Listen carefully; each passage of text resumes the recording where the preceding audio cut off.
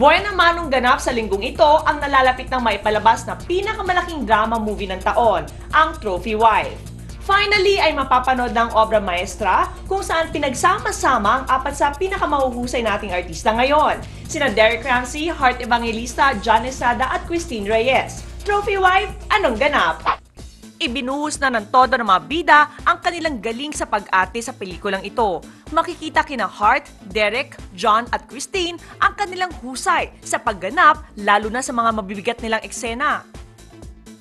It's really more of a thriller love story. Um, unexpected twists will come, uh, will happen in this movie.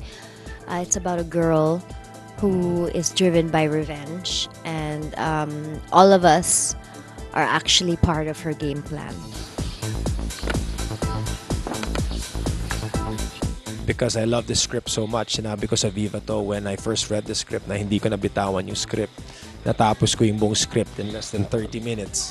I also told them that it's the best script that I've read for any movie.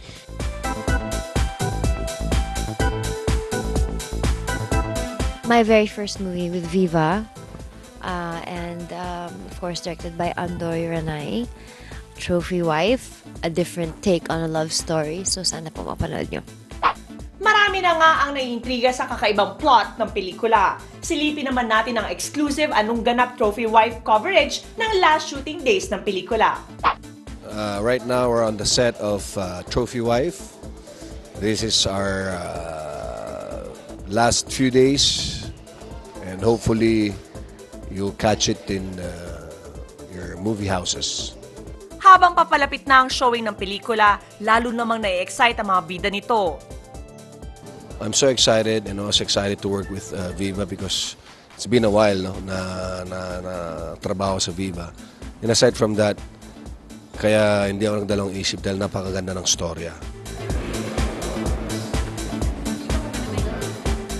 I'm also excited na mapanood yung movie. So, I guess hindi kami... I, it's something na I know na magugustuhan ng mga tao. Magkakaroon talaga siya ng tatak. For me, I think.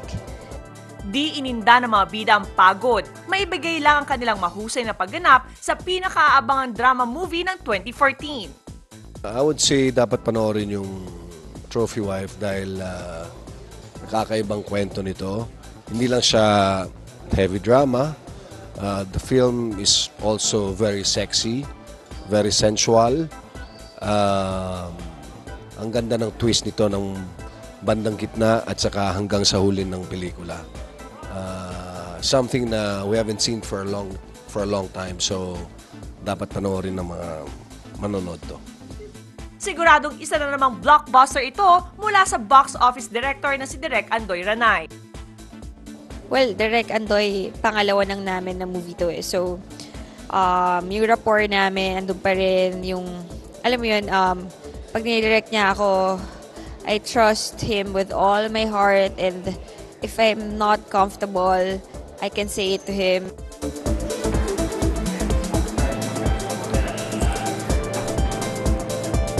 ang pagkakasulat ni Miss Keiko Aquino sa storya at ah, sa script ng ah, Trophy Wife ay napakaganda. Kaya nung nabasa ko pa lang siya, hinawakan ko na at sabi ko, sige, I'm on board, gagawin ko to kasi maganda yung storya ni Keiko. Yun, yun talaga yung pinaka selling point nun for me. It's nice to be home, Kuya. Come in, come in. So, Kuya, where's the beautiful wife? Ayan na pala eh. Han, Finally!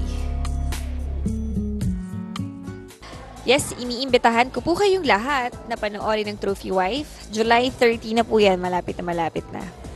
A movie about love, lies, and deceit. A story of a woman you cannot trust, but cannot resist to love. malapit na malapit na po. Trophy Wife. Of course, with Derek Ramsey, Christine Reyes, Heart Evangelista, at uh, yours truly. Huwag mo sabing nagbabago yung isip mo. Huwag kang ang duwag. Isang taon natin tong pinlano, di ba? Malapit na malapit na nating mapanood ang pinaka-aabangang pelikula ng taon. Kaya sugod na sa mga sinihan. Trophy Wife showing on July 30 in cinemas nationwide.